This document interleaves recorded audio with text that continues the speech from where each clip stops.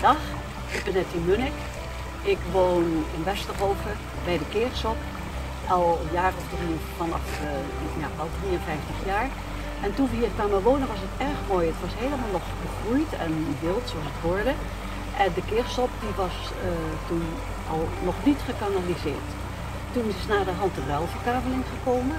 Die heeft alles plat gegooid. Die heeft de Keersop gekanaliseerd.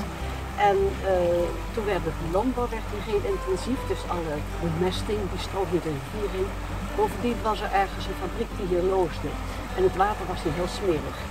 Alles verdween, want vroeger had je hier al die kleine beekjes tussenin. Daar zaten stekelbaarsjes. Maar dat is allemaal weg en dat heeft heel lang zo geduurd. De kinderen die gingen er wel in pootje baden en zo, maar dat was toch eigenlijk helemaal niet zo best. Toen is dit uh, opgeknapt door de waterschap de rivier heeft hier tot aan het dorp 13 bochten teruggekregen. De, de is erin teruggebracht.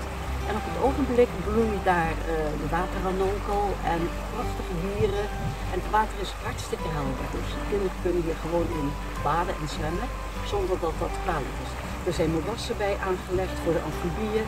Er komen weer vogels. Uh, kortom, het begint helemaal weer terug te bloeien.